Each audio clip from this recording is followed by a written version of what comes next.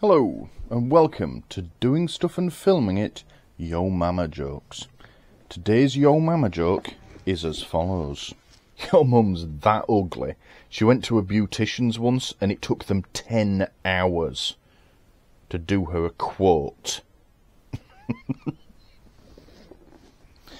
That's it for today's Yo Mama joke. Thank you for watching, and I'll see you again tomorrow.